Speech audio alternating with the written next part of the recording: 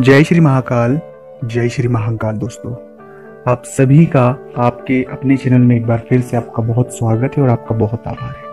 अभी तक आपने चैनल को सब्सक्राइब नहीं किया है, चैनल से आप नहीं जुड़े हैं तो प्लीज़ मैं आपसे एक छोटा सा निवेदन करना चाहता हूँ।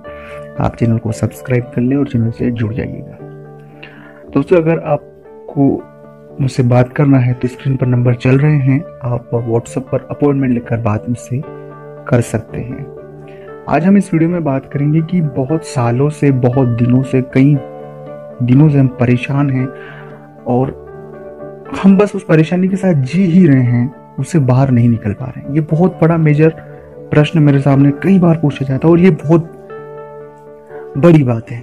तो आज इस वीडियो को पूरा आप देखें क्योंकि आप अगर बहुत दिनों से कोई भी, यदि आपका कोई परिचित भी परेशान है, तब भी आप उन्हें ये बात ज़रूर बता दें। तो वो इससे बाहर आ जाएँगे। तो इस वीडियो को आप पूरा और अंत तक देखें। ये बहुत महत्वपूर्ण जानकारी मैं आपसे शेयर आज कर रहा हूँ। इस वीडियो को ज़रूर आप लाइक करें अगर आपको अंत तक देखने के बाद अगर अच्छा लगता है तो। सबसे पहली बात कि हम कई दिनों से एक ही रास्ते पर, एक ही जगह पर या एक ही उस पूरे एटमोसफेयर में स्ट्रगल कर रहे हैं। बहुत कोशिशें कर रहे हैं, बहुत यत्न कर रहे हैं। लेकिन हमें सबसे पहली बात है कि भूतकाल में, बीते दिनों में यदि कोई हमारे साथ घटना हुई है।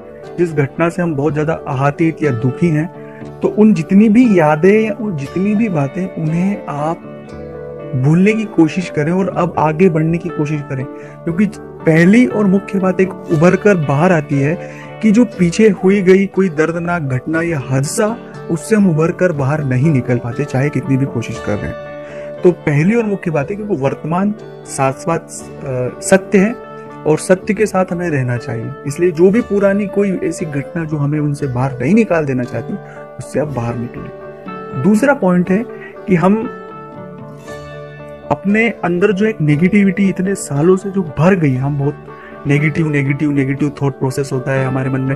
जितने भी ख्याल वो नेगेटिव आते हैं, हम कोशिश भी करते हैं पॉजिटिव होने की, लेकिन नहीं हो पाते हैं।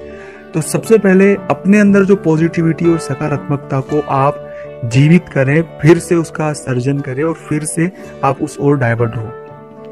क्योंकि सकारात्मक की एकमात्र ऐसी ऊर्जा है जो आपको जीवन में ऊंचाइयों की ओर ले जा सकती है और परेशानी को हमेशा के लिए खत्म कर सकती है। क्योंकि अब होता ही है कि हम पूरा नेगेटिव वे में रह रहे हैं और तो हमें सब कुछ चीज़ें नकारात्मक ही दिखती हैं। सब कुछ चीज़ें नकारात्मक ही होती रहती है। मतलब इस तरह का एक बहुत बड़ा जाल है। इस जाल को काटने का एक ही सबसे मेन और मेन चीज़ है अपने माइंड सेटअप को, अपने विचार को, अपनी जितनी भी चीज़ें इस जीवन में, उन्हें पॉजिटिव कर लें। उन्हें सकारात्मक आपको करना ही होगा, उसके लिए आप बहुत ज़्यादा यत्न करें। जो खराब भी हो रहा है, उस पर ध्यान ना दें। जो खराब तो सभी हो रहा है, क्योंकि खराब की वजह से तो हम यहाँ तक आए। उसमें जो जो चीज़ें पॉजिटिव अच्छी है, उस पर फोकस करें और निकले क्योंकि जब पॉजिटिविटी आपके साथ इकट्ठी हो जाएगी बहुत सारी तो आप ऑटोमेटिकली इन सब चीज़ों से बाहर आ जाएँगे। क्योंकि सकारात्मक अपने आप में एक बहुत बड़ी ऊर्जा है, और वो इतनी बड़ी ऊर्जा है कि आपको अंदर से आत्मविश्वास देगी, आपको अलग फील देगी और आप बहुत जल्द उससे बाहर आ सकते हैं। तीसरी और मुख्य बात होती है कि हमारे घर में जो भी अनावश्यक चीज़ें हैं, जिनका उपयोग नहीं है, उन अनावश्यक चीज़ों को आप घर से ज़रूर जल्द से जल्द बाहर कर दें।